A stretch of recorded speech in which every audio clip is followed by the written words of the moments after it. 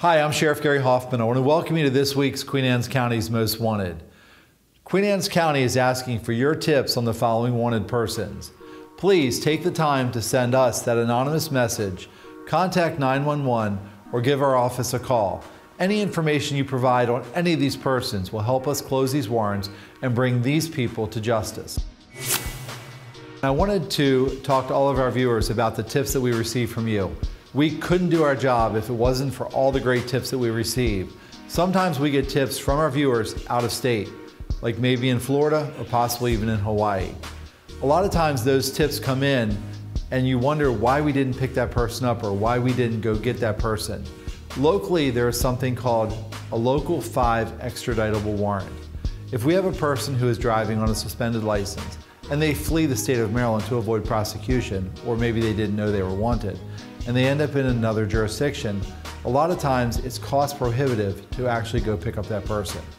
Now, what we will do is mark warrants with what we call the local five. That means that in Pennsylvania, Delaware, Virginia, District of Columbia, and West Virginia, if you're marked with a local five, we're coming to get you. Most of the time, people that are fleeing warrants, they go far away. For example, we have one subject now, Joshua Hickox, who has actually fled to the state of Hawaii. But I'll tell you what we're going to do. Right now, live, while we're doing this, we're going to take calls from our viewers. How many of you would like to see myself take a vacation and fly to Hawaii to pick up Josh Hickox? Right now, we'll be taking your calls while we explain one more thing. A lot of times when we get the tips in, for example, South Carolina, North Carolina, Florida, Wyoming, Ohio, it's great to give us that information because we can track where that wanted person is so we know where they are.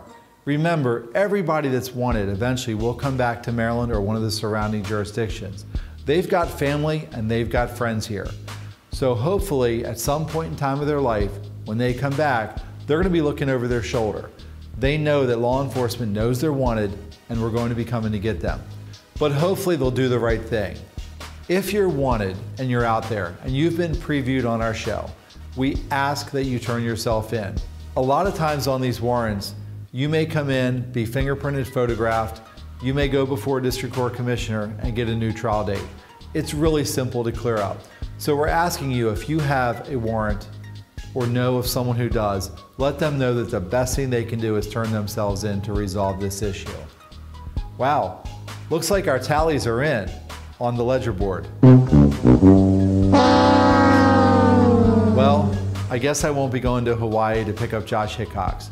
Disappointing. I was kind of looking forward to a vacation. But anyway, I'll still be here day and night to make sure that these wanted persons are taken care of. And by the way, Josh Hickox, if you get on a plane, we will know that you're on there and we plan on being there to pick you up.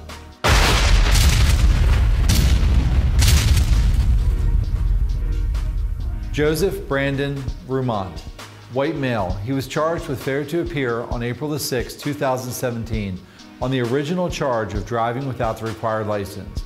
He's 5 foot 9 inches tall, 140 pounds. He has black hair and brown eyes. He was born on September the 24th, 1977. His last known address is 1004 Chesapeake Drive in Stevensville, Maryland. If you have any information on his whereabouts, please urge him to turn himself in to resolve this warrant. Richard J. White, Jr., African American male, he was charged with failure to appear on August 12, 2015. His original charges are first degree assault and burglary first degree. He's 5 foot 9 inches tall, 140 pounds. He has black hair and brown eyes. He was born on December the 4th, 1985. His last known address is 200 Schoolhouse Lane in Graysonville, Maryland.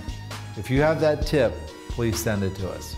Stacy Renee Boyer, African American female, failed to appear in circuit court on April the 15th, 2016 on the original charges of theft $1,000 to under $10,000. She is 5 foot 4 inches tall, 205 pounds.